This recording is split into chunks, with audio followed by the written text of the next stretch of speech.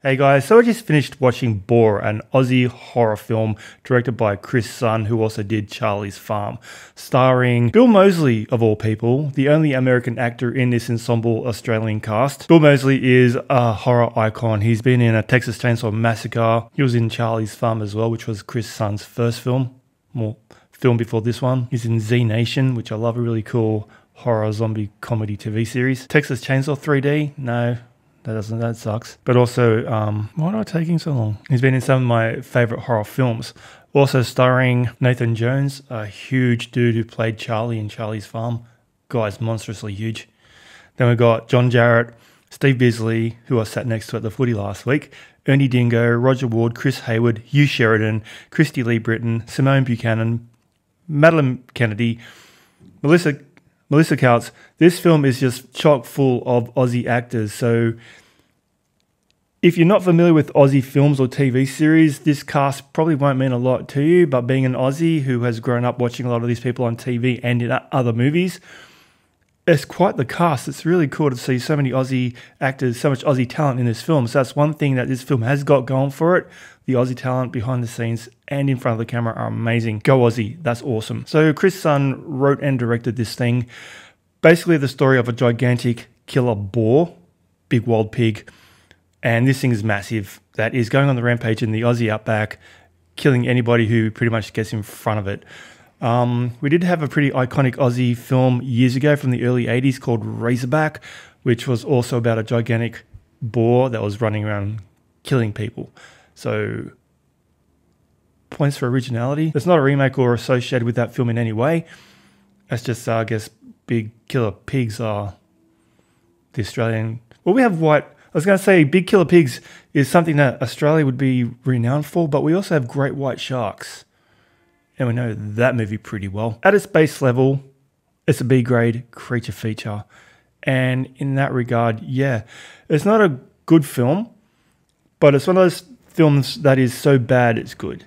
Like I enjoyed the hell out of this. I had a lot of fun while I was watching it. The the, the the kills were good. The animatronics were good. The big boar looked amazing, although he was pretty static most of the time. Whenever the, the boar had to be captured moving quickly or, or have a lot of motion in his performance, it was CGI work. Uh, the CGI, yeah, pretty bad, to be honest. Not great stands out quite a bit. Um, there was a scene at the beginning of the movie where there was a couple in a pickup and all these wild pigs were just running across the road in front of them. And not one live pig was used in the shot at all. It was all CGI and it was really, really, really noticeable. But that's what this film's going for. It's not a big budget thing. It's cheap and nasty and a lot of fun.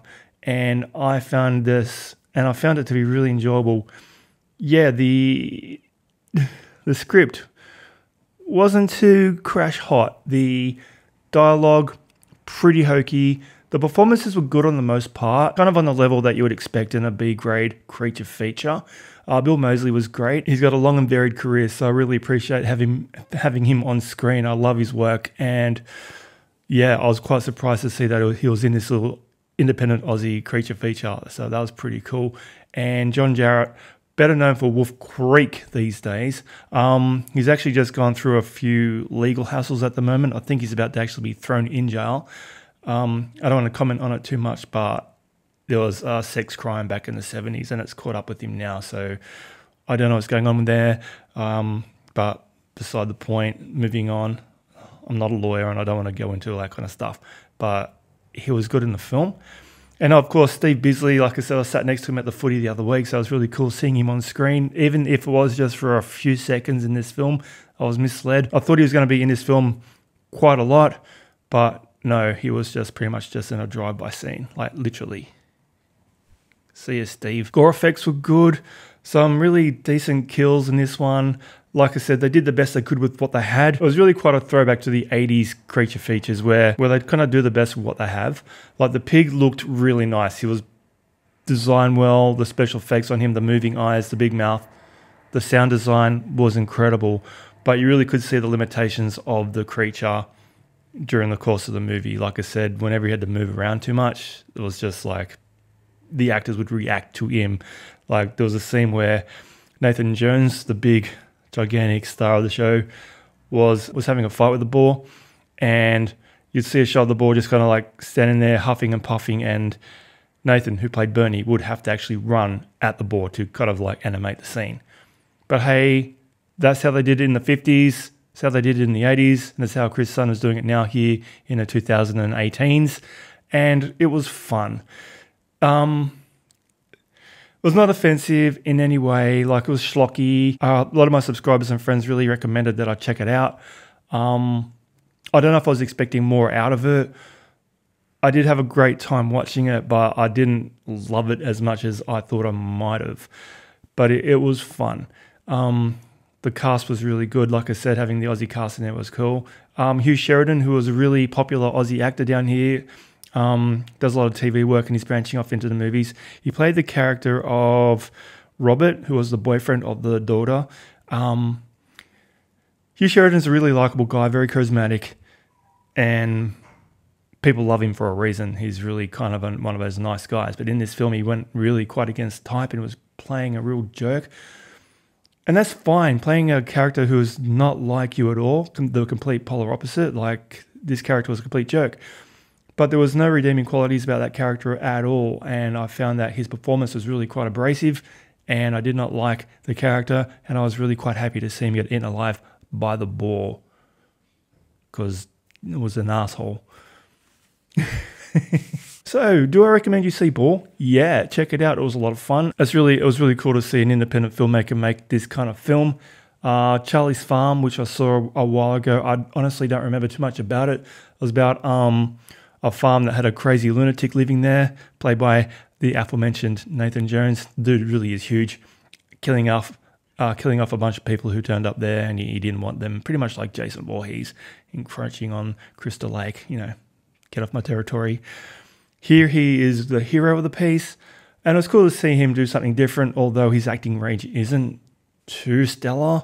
I'm not one to judge, not an actor, but he, he, he was pretty, he was big, but it was fine. So yeah, I hope we get more of these kind of films from Chris Sun.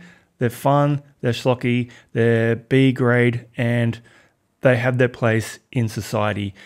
We enjoy creature features. Well, I do, and I'm I'm assuming most of my subscribers and if you're watching this, you would love a good creature feature too. And do I recommend it? Yes. Giving Boar a score out of 10, I'd give it a 6 because I had fun with it, but didn't love it. But it was entertaining for the most part. It only goes around an hour and a half, so I didn't outstay its welcome, but it was fine. I've definitely seen a lot worse it was okay entertainment, and I don't regret buying it. And would have liked to see more in the series. Well, this kind of ended on that kind of like cliffhanger note at the end. Well, not the cliffhanger. It was just like you know. Well, I don't want to spoil it, but they left the door open for more. And I'll probably check it out because I just love our movies. Anyway, guys, that's my review of Boar on Blu-ray. A lot of fun. Have you picked it up? What do you think? Let me know in the comments down below, and I'll catch you in the next video. Thanks for watching.